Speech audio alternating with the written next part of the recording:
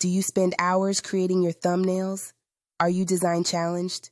What if you could create any thumbnail using your imagination? I'll demonstrate how you can achieve that today. These are a few of my favorite thumbnails that Thumbnail Genie created. There are some spelling imperfections, sure, but I can show you a quick way to edit the thumbnail once you get one you like.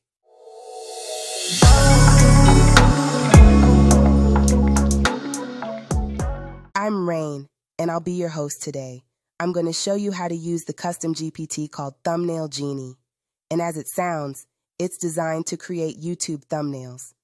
But it can make thumbnails for your other socials with 916 aspect ratios as well. When you open up Thumbnail Genie, you will see two conversation starters. Click the one that says, Start crafting a thumbnail. Thumbnail Genie will then give you instructions on what to input. Use descriptive words while also keeping the total prompt to a minimum. We don't want to confuse the bot. You can upload your logo so Thumbnail Genie can pull the brand colors from it. Unfortunately, it's not able to add your logo onto the thumbnail at the moment. You can also give it the hex code of your brand colors if you don't yet have a logo, and it understands. You can also upload a photo of a color that you export from Canva or any other program, like a swatch, and it can incorporate that color into the thumbnail as well. For some reason, Thumbnail Genie can't even spell thumbnail. I was testing the bot out already and copied the prompt from one of the images it generated. Now I'm tweaking it a bit to try to get closer to what I want. The first two images didn't look like a thumbnail, it just looked like an image of a book. Okay, it's almost there.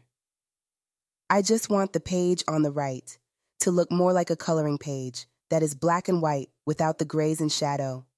I may need to pull this into a design program to erase the grays. Sometimes you gotta take what you can get. Let's generate some more thumbnails. For this thumbnail, I asked for a pop art style when describing the theme and colors. I think this looks really great and would take a long time to create if we were doing it manually. I adjusted the prompt to include Pixar style characters, and it executed very well. Mind you, I'm just thinking of these off the top of my head. I didn't put much thought into what I really wanted until it was time to make the thumbnail for this video. Which of these do you like best? Between the two animated cartoon thumbnails, leave a comment below. I decided to try again. I like this one, but it's not perfect, so I'll show you how I tweaked it to make it more to my liking.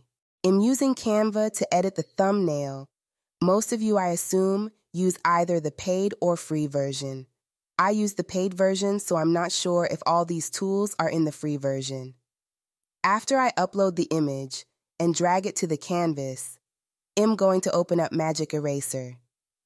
This tool allows you to remove unwanted items from your photos. I want to erase the male character's hands, the keyboard, and the mouse. Then I'm going to add the image of the host and remove her background using Background Remover. I'll click Background Remover again to erase more of the image that I don't want, like the chair around her. The male character had a little more arm sticking out, so I had to erase that and adjust my host image so she isn't covering the words. I know you see the word thumbnail spelled incorrectly, so I'm going to grab a shape, click the color icon, and the dropper to pick up the color that is already on the thumbnail to erase the misspelled word. Then I'm going to type it with the correct spelling and try to find a font that matches as close as possible and change the color of the text to match the rest of the text. Lastly, I change the color to break up the monotony. Correcting the spelling of text may not always be so straightforward if the background isn't a plain color. I want to see if Thumbnail Genie can recreate thumbnails from YouTube. I Googled YouTube thumbnail downloader and clicked the first one I saw.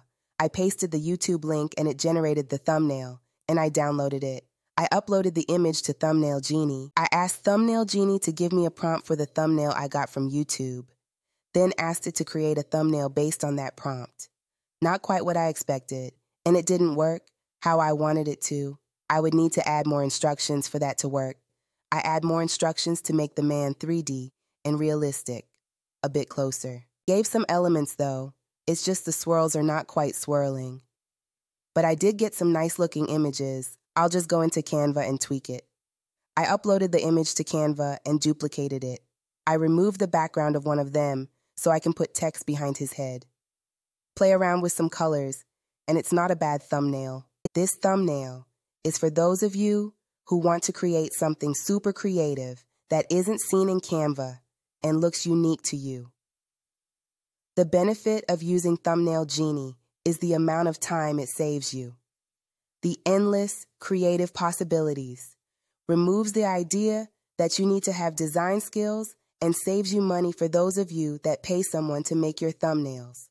Well, I guess that depends on how often you make and pay for that service, because you would need to pay $20 for ChatGPT and a one-time fee for Thumbnail Genie.